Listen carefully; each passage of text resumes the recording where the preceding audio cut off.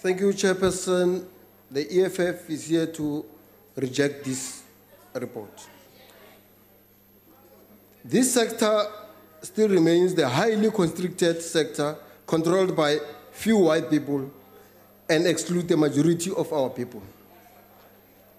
It is white people who owns lodges, who owns nature reserves, who are in control and even state-owned nature reserves. It is these people who benefit from the tourism.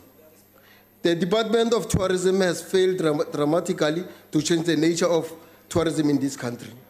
Tourists still come to the same destinations controlled by the old club boys. We have not been able to diversify our tourist attractions to the rest of the country. Tourists still come mainly to three provinces, which is Western Cape, Gauteng, and KwaZulu-Natal. We have immense potential to diversify this sector to other provinces such as Eastern Cape, Limpopo, and Mpumalanga. For those who are interested in historical and heritage tourism, we have not been able to do so because the very nature of, of South African economy favors those who have accumulated pro- property in the past. Further, there are no consequences for those who are resisting transformation in this country.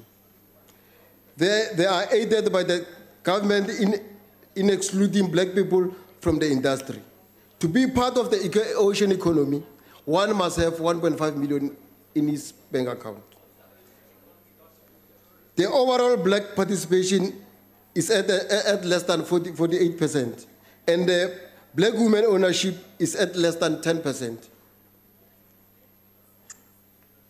Black participants are only found in the poorest provinces, which are Limpopo and Mpumalanga. Western Cape, KwaZulu-Natal, and Gauteng are mainly dominated by the white Thank you people. very much. We are against uh, the anti-transformed uh, tourists. Thank you.